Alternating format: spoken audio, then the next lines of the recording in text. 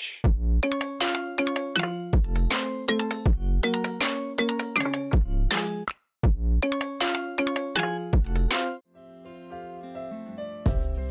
The Forbidden Flower Chinese drama starts on February 13th every Monday to Sunday on Tencent Video and WeTV for 24 episodes.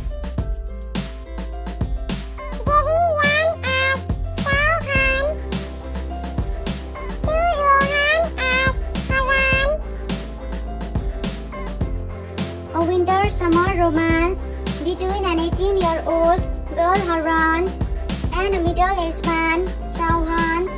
They both took a chance on each other. Love and passion followed. Where would your story